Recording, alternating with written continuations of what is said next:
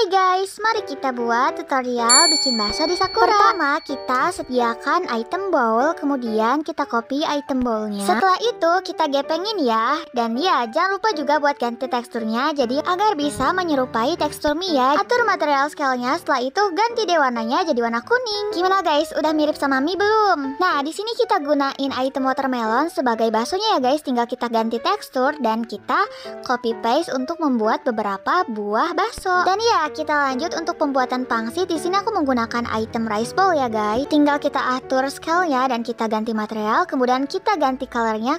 dan ya tinggal di copy paste deh. Tambahkan item tree untuk menjadikan dia sebagai sayuran. Lalu ubah ukuran dan copy paste. Setelah itu aku gunakan rice bowl sebagai cabenya.